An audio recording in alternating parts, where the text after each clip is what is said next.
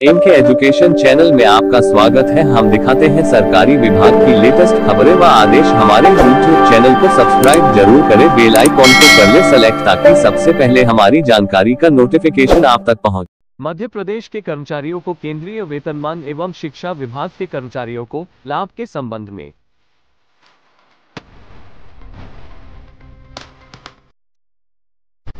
का वीरेंद्र कुमार डॉक्टर वीरेंद्र कुमार सामाजिक न्याय और अधिकारिता मंत्री।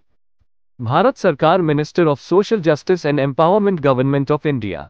कार्यालय 202 C wing Shastri Bhavan Nai Delhi 110,115 office 202 C wing Shastri Bhavan New Delhi 110115 आज़ादी का अमृत महोत्सव शाह पत्र रहमान सा न्या टी 2024 282 माननीय doctor Mohan Yadav ji the 14th of July 2024 प्राथमिक माध्यमिक उच्च माध्यमिक शिक्षक संघ मध्य प्रदेश के द्वारा मध्य प्रदेश के कर्मचारियों को केंद्रीय वेतनमान एवं शिक्षा विभाग के कर्मचारियों को आयुष्मान योजना का हितग्राही बनाए जाने के संबंध में ज्ञापन प्राप्त हुआ है, जो मूलतः संलग्न कर आवश्यक कार्यवाही हेतु आपकी ओर प्रेषित है।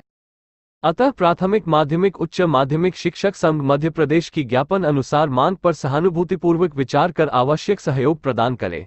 डॉक्टर वीरेंद्र कुमार, माननीय डॉक्टर मोहन यादव जी, मुख्यमंत्री मध्य प्रदेश शासन।